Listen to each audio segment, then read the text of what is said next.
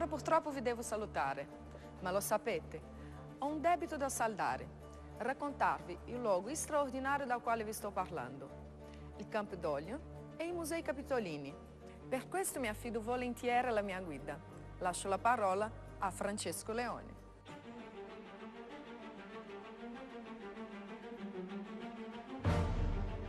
Il Colle Capitolino è uno dei luoghi più emblematici di Roma. Qui si uniscono in un bel composto i resti di Roma antica, la città moderna voluta dai papi e l'amministrazione, anche attuale, della città di Roma.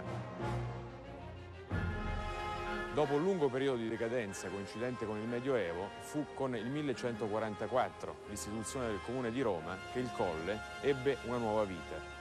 Papa Paolo III Farnese, alla metà del Cinquecento, affidò a Michelangelo la risistemazione dell'intera piazza.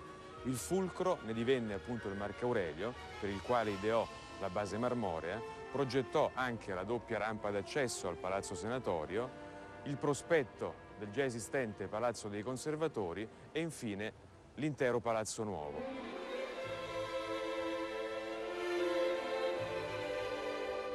Il Museo archeologico nacque con i finanziamenti del gioco dell'otto. Fu Clemente XII ad istituire il gioco dell'otto e pensate che si teneva proprio sulla piazza del Campidoglio, sotto la statua del Marco Aurelio. Questa che vedete però è soltanto una copia. La statua antica è collocata nella nuova esedra inaugurata soltanto di recente.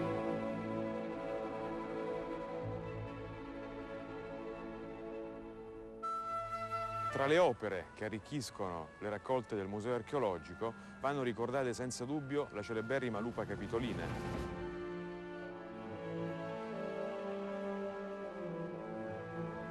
E ancora il Galata morente e la Venere capitolina, per la quale fu ideata e realizzata un'esedra che la potesse racchiudere.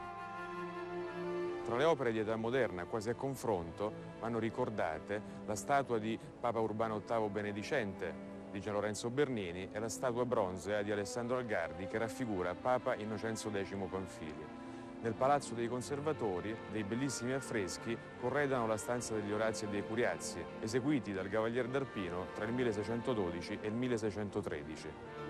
Da qui, da questa celeberrima piazza, si dominava il foro romano e alle nostre spalle il Tevere, via d'accesso alla città di Roma, resta uno dei luoghi più significativi e di alto valore simbolico della città e dell'intero mondo occidentale.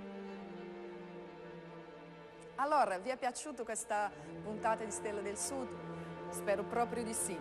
E ricordatevi, se volete rivedere questa o le altre puntate, andate sul sito www.stelladelsud.rai.it e magari lasciateci i vostri suggerimenti, i vostri messaggi.